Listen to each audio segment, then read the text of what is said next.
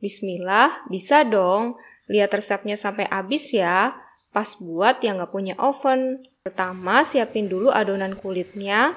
Tinggal campur-campur aja bahan ini. Terus ulenin aja sampai kalis nggak nempel di tangan. Kalau udah, tutup cuekin selama 30 menit aja. Nah, sambil menunggu, bisa buat bahan isiannya. Uma pakai yang simple aja deh.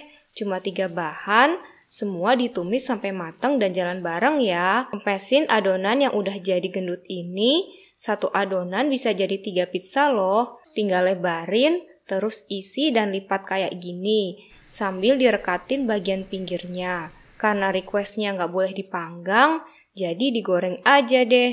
Uma pakai Diamond Pen seri stand cookware yang punya coating Jerman super anti lengket. Ada request nggak mau bikin apa lagi? Komen dong, dapat hadiah loh.